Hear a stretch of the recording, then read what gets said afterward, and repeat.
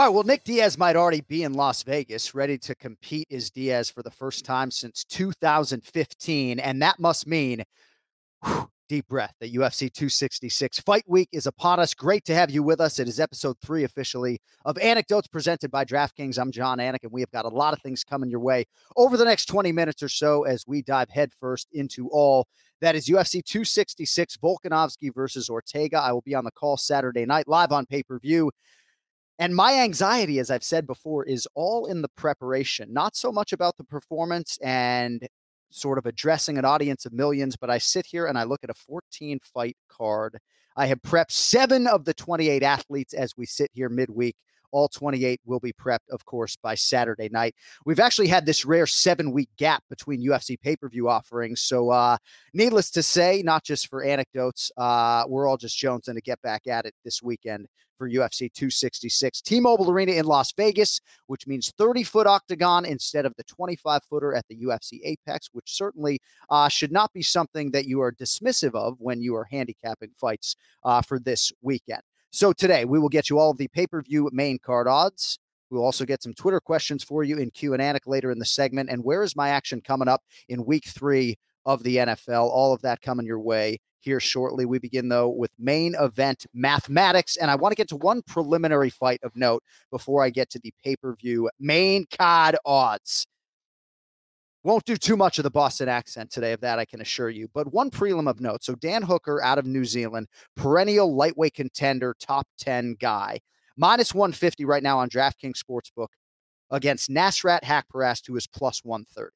So there's an interesting handicapping angle here. Dan Hooker uh, is stuck in New Zealand. He has gone to great lengths to try to get out of New Zealand, hoping to arrive in Las Vegas on Thursday. Um, that will get him out of a lot of media obligations, but obviously it compresses his travel schedule. And if you are betting that fight between Dan Hooker and Nasrat Haqparast, again, I'm not betting the fight. I'm just telling you to not include that angle in your handicap, uh, I think is ignorant, right? I think you need to take a long, hard look at what Dan Hooker's fight week is going to hold. Now, he has fought the better strength of schedule. He is the perennial top 10 guy, has fought the best fighters in the world and has had big success against them. Biggest win, probably a knockout of Gilbert Durinho Burns, who is now one of the best welterweights in the world. Um, but man, I think it's asking a lot for Dan Hooker to get to Las Vegas on Thursday and beat Nasrat Haqparast on Saturday night. Um, but if anybody can do it, it's Dan the Hangman Hooker. So I think that's an interesting angle. And I will tell you, at least as far as the DraftKings number is concerned, minus 165 48 hours ago, minus 150 now on Dan Hooker. So you have seen some movement towards Nasrat Haqparast. All right. Pay per view main card, five fights. We begin with a women's flyweight opener, Jessica Andrade, minus 280 Cynthia Calvillo is plus 225. Andrade entrenched about a three to one favorite here. She's a former UFC strawweight champion, now trying to make another run at 125 pounds. She did fight Valentina Shevchenko for the title earlier this year. It did not go her way. All right, at heavyweight, Curtis Razor Blaydes minus 320. Jairzinho Rozenstruik is plus 250 heavyweight MMA, right? Obviously, anything can and does happen. Curtis Blaydes gets a lot of respect from the odds makers, and rightfully so. He was in a similar range, if I'm not mistaken, actually, maybe even a little bit higher for his fight against Derek the Black Beast Lewis, a main event back in February. Now he's minus 320 against another power threat in Jairzinho Rozenstruik. Granted, this is a three round fight. Uh, that fight against the Black Beast was a five rounder. Um, but I can understand why people would be on both sides of this. Again, movement, albeit slight. Uh, Curtis Blaydes from minus 305 to minus 320, and Jairzinho Rozenstruik from plus 240 up to plus 250 in the last 48 hours. All right. The fight everybody's talking about Robbie Lawler and Nick Diaz. They fought in 2004 at UFC 47, and this is a rematch now that will take place several years later, of course. First meeting went to Nick Diaz all the way back in the day, but I think you can really throw that meeting out. It's minus 110 on both sides. So 48 hours ago, Robbie Lawler minus 115, Nick Diaz minus 105. Some movement towards Nick Diaz, and I think that is to be expected. It is amazing to me, though, that a sharp bettor with respect to the squares out there, because I'm pretty square with a lot of my tendencies. When I talk about sharp bettors, I'm not necessarily classifying myself as one. But I just don't know how, as a sharp bettor, you could walk to the window and bet on Nick Diaz, knowing that he hasn't competed since 2015. And even if you think ring rust is just a figment of people's imagination and that active competition or lack thereof is not going to be a factor in the fight. You know, Nick Diaz hasn't won a UFC contest since 2011. And even though Robbie Lawler's current form tells you on paper that he's lost four in a row, he's had seven UFC fights and accrued a lot of rounds since Nick Diaz has last competed. So for me, there are just a lot of unknowns and a lot of variables in this fight, and perhaps that's why it's a pick'em, right? Uh, what version are you going to get from Robbie Lawler? I mean, all indications are that both guys are working exceedingly hard that fight would be a layoff and enjoy for me uh, if I was even contractually allowed to bet on it. All right, so the co-headliner, and again, Valentina Shevchenko, prohibitive would be the adjective I would use, minus 1375. I don't know how fat your bankroll is out there, but Shevchenko minus 1375, Lauren Murphy is plus 800. Lauren Murphy is as well coached and well trained as it gets. Um, but there's a gap in skill level, talent, and finishing ability here. And the odds suggest that. You know, what can Lauren Murphy do um, to change what is perceived to be myriad disadvantages in this fight? Well, she could certainly go for broke, right? She could do a suicide mission. Suicide mission, I should say. We'll clean it up for Saturday night, but suicide mission a la Derek Brunson against Robert Whittaker, perhaps. You know, I think she's going to stay true to her guns and try to fight her fight and be patient and pick her spots and not do something that just throws caution to the wind and doesn't mitigate risk at all. But I do think that Lauren Murphy, despite the current form, five consecutive wins, uh, would appear to be up against it as a plus 800 underdog in her first shot at an undisputed UFC title. And then the main event, which I expect to command two way action. Uh, I've heard handicappers very convicted on both sides of this UFC featherweight championship fight. Alexander Volkanovski minus 160, Brian Ortega plus 140. So, Volkanovski's won 19 fights in a row, trying to make it 20 in a row. Perhaps not enough is made of that because a title defense against Max Holloway was a fight that most experts thought Max Holloway won. Um, I wouldn't put an asterisk on the winning streak of Volkanovski per se, um, but a lot of people felt like Holloway beat him. And Brian Ortega, if you are judging him on his last fight, a main event domination of the Korean zombie Chan Sung Jung, then he's worthy of a second shot at the UFC title, even though he only had to produce one win to get it. So those are your main card odds, and a lot more coming up, of course, on DraftKings and our social media channels leading up to fight night. And as you know, UFC 266 is coming up fast and furious. DraftKings Sportsbook, the official sports betting partner of UFC, has a knockout offer for this weekend. And how about this? They're up in the ante a little bit this time around. DraftKings offering new customers $150 in free bets instantly if you bet just $1 on any fight before the main event. So pretty simple. You bet just $1 on any UFC 266 fight, and DraftKings Sportsbook will give you $150 in free bets instantly. And if MMA is not your thing, a lot of different options out there on DraftKings Sportsbook odds and propositions, promotions on football, golf, and so much more. My golf handle is getting like out of control. I got to slow it down here. I think the Ryder Cup's coming up. Uh, DraftKings safe, secure, reliable. Perhaps the best part is that you can deposit and withdraw your cash literally whenever you want. So my 10 year anniversary with the UFC is coming up in October of this year. And I'm telling you, to a woman, to a man, UFC 266 this weekend as good a pay per view as we can put forth. And we don't want you to miss out on all the action and getting your own action for UFC 266 with DraftKings Sportsbook. So, what do you need to do? You download the DraftKings Sportsbook app right now. Use promo code ANIK when you sign up to receive $150 in free bets instantly if you bet a dollar on UFC 266. That's code ANIK, A N I K, to receive $150 instantly only at DraftKings Sportsbook. Must be 21 or older, New Jersey, Indiana, or Pennsylvania only. Other restrictions apply.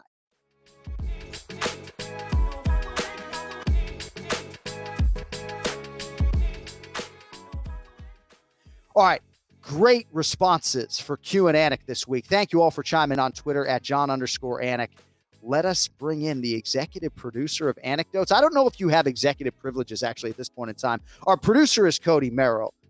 We'll drop the executive at least for this week. We'll see what Kyle and the bosses have to say. But it's time for Q and Anik. Rapid fire questions fired at me from producer, courtesy of the mixed martial arts masses. Cody, how are you? Overlooking that introduction from at. Corey Rules.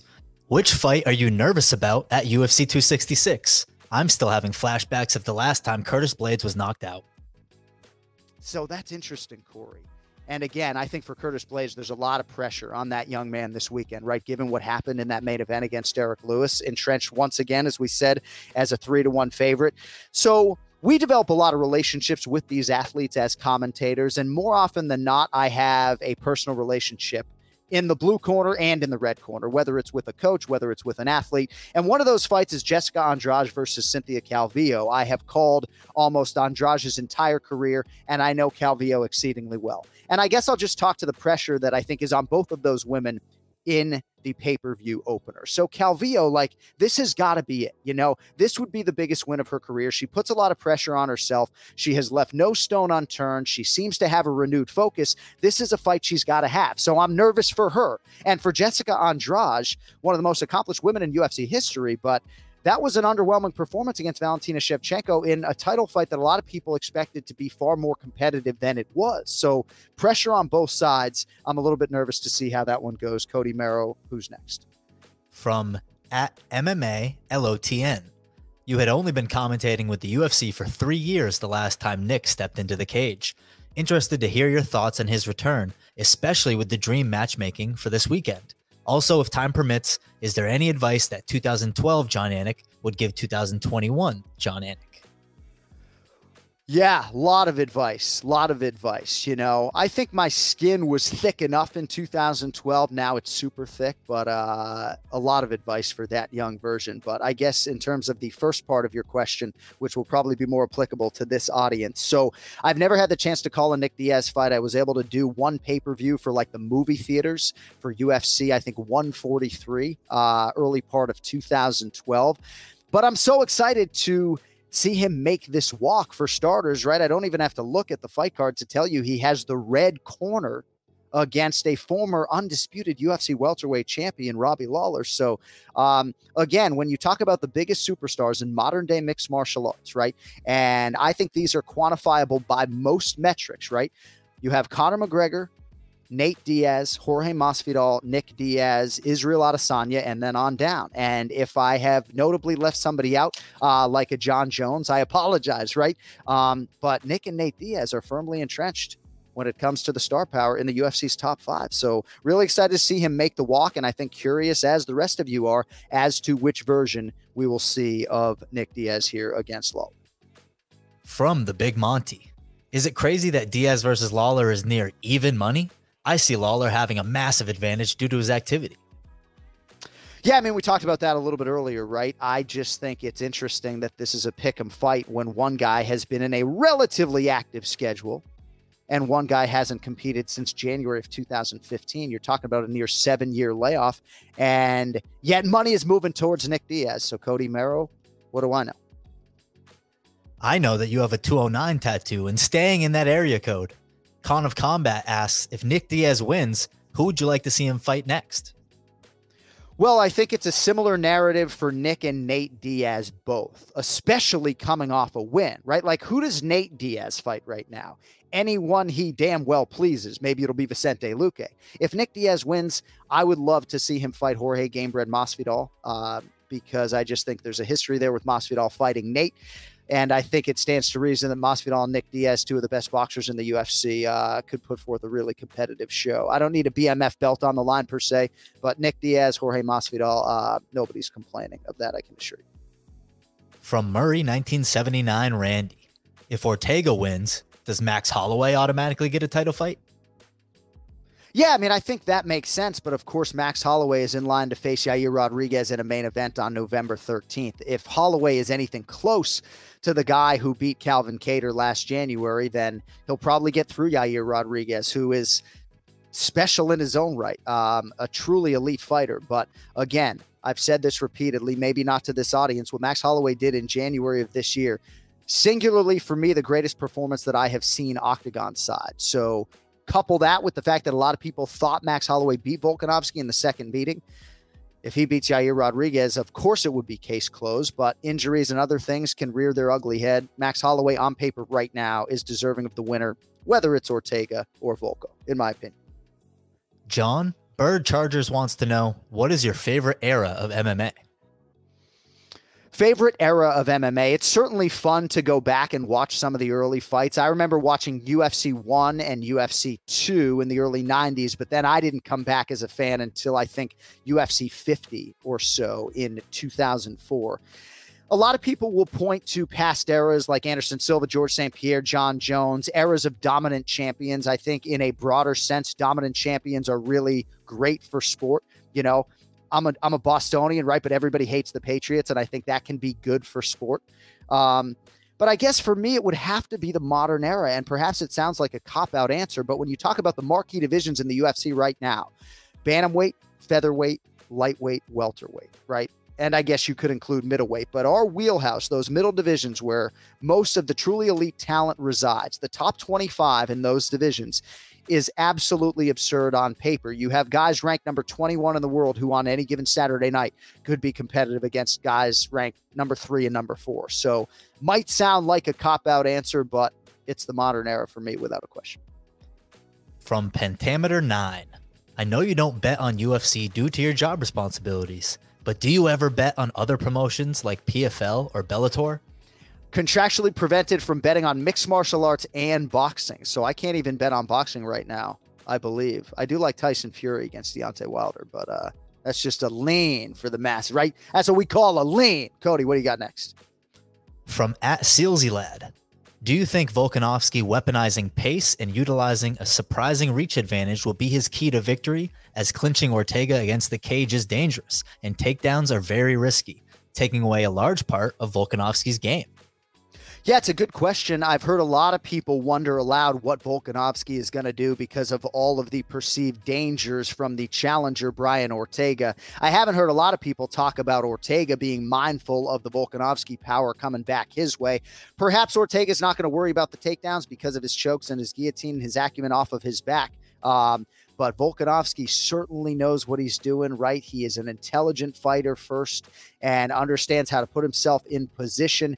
Uh, Ortega has been hittable at times. You know, I found out earlier today from a handicapper that Brian Ortega has actually been outstruck on paper in six of his nine UFC appearances. So I do think there are opportunities for Volkanovski, but in a long winded way, I'll tell you, yeah, I think he might be less inclined to go for takedowns. I think you're going to see Volkanovski strike, but he's done a lot of that of late. But I do think it'll be uh, a kickboxing match uh, strategically from Volkanovski. We'll see. From MMA Every Day 2, who is your favorite Australian fighter on the roster? Oh, favorite Australian fighter on the active roster. So that eliminates the lead horse, Mark Hunt, whom I absolutely love. Um, it's hard not to say Robert Whittaker, even though he was born in New Zealand, because he and I go back to 2012 on TUF Smashes. But I got to say, Jimmy Crute. Got to say, my man Jimmy Crute coming off a tough loss to Anthony Smith, in which he got injured. But Jimmy Crute's a dog, man. Absolute dog. And uh, when I saw the question just before we started today, Jimmy Crute was the first name that came to mind. Bendigo Bombs. I hope I'm pronouncing it right. Jimmy Crute's the answer. The Baines MMA wants to know why is Volk so underappreciated? He is, right? Guys won 19 in a row. I mean, do you remember when Khabib Nurmagomedov had that winning streak, right? How that was promoted. And I'm not saying it's any lack of UFC promotion. It is only the second title defense for Alexander Volkanovski, and he doesn't necessarily have the UFC knockout highlight reel uh, that some other fighters have. Um, I think if he can get in a more regular training, or I guess not training, but fighting schedule where he's competing every three months, that would serve him well. I mean, I think the best way to resonate with UFC fans, right, uh, is to compete as actively as possible and to finish fights. So if he could get in there every three months, I think that would serve him well. But again, in Australia and New Zealand, in this climate, it's been a lot to ask of these athletes coming back and forth in the quarantine and everything else. Um, he's not underappreciated amongst his peers. I can tell you that from Kevlar57. I'm struggling to care about the two title fights, but am perhaps too excited about the return of Nick Diaz. Does that make me more a fan of spectacle than sport? Well, it's interesting, Kevlar 57. I think it's okay to like both. I mean, do you lean more spectacle because you can't get excited about Volkanovski or Ortega? Like, I'm jumping out of my skin for the UFC Featherweight Championship fight, and I'm excited to see what Lauren Murphy can do with the opportunity. Maybe I'm a little bit too close to it, but maybe this will help you navigate when there's a title fight that you're not just Jones in to see. The most exciting part of my job is when a fighter is either competing for the belt for the first time or breaks through and becomes a first time UFC champion. So Brian Ortega's never had a belt in the UFC and neither has Lauren Murphy. So the opportunity for both of those athletes is very exciting. The opportunity for, for Volko to win 20 in a row and sort of not capstone, but sort of highlight this title reign with a win over Brian Ortega after what he did to the Korean zombie would be huge. So I think it's okay to to be excited about Nick Diaz and have that be the reason why you plop your money down and invite your friends over. I mean, I think I led Anikdotes today with Nick Diaz. Um, and I wouldn't get too bent out of shape if you lean more spectacle than sport. I mean, it is the entertainment business at the end of the day. It's both. It is. Jon, the last question using hashtag Anikdotes is guys are hitting Jay me hard Noose. today. Jesus. What do you got? Why can't Americans say Craig or Mirror? All right, this has got to be from Australia, right? So we have a UFC light heavyweight contender. His name is Paul Bear Jew Craig. They say Craig. If it's not Scottish, it's crap. You remember Mike Myers on Saturday Night Live? Nope, my producer was born in like the mid 1990s. So the Aussies got on me. Oh, excuse me. Paul Craig, Scottish. This has got to come from Scotland. I apologize. It's not the Aussies, it's the Scots, right? If it's not Scottish, it's crap. Anyway, Paul Craig. So the Scots got on me for calling him Paul Craig because I think us Americans, we say Craig. And I think if you asked an American whose first name was Craig, he might say it's Craig and not Craig.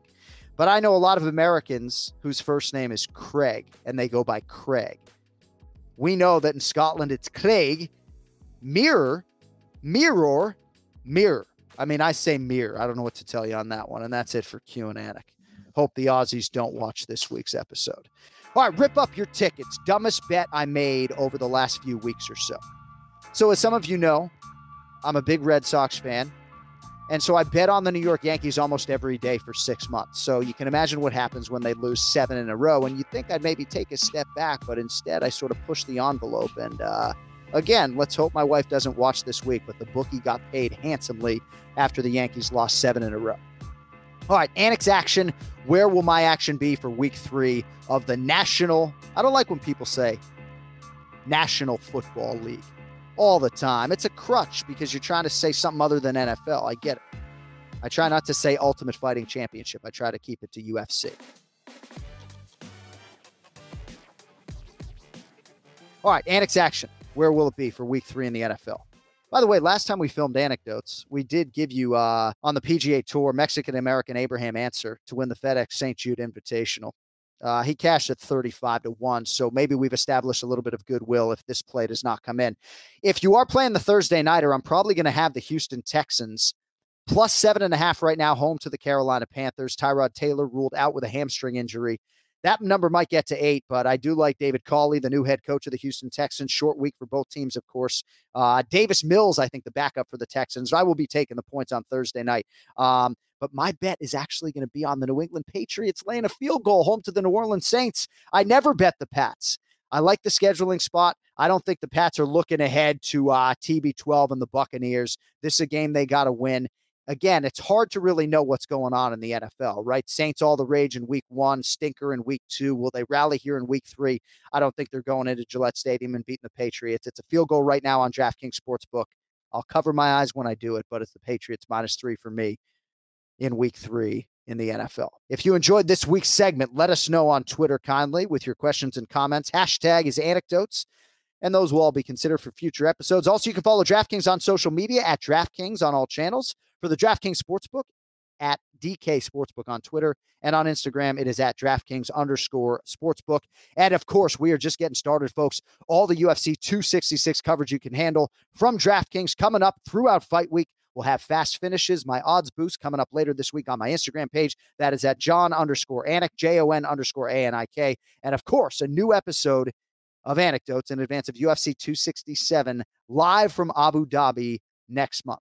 Hope to see you all on pay per view Saturday night. It's a big one UFC 266, Volkanovski versus Ortega. Until next time, I'm Jon Anik. Thank you all for watching. Don't text and drive. Back.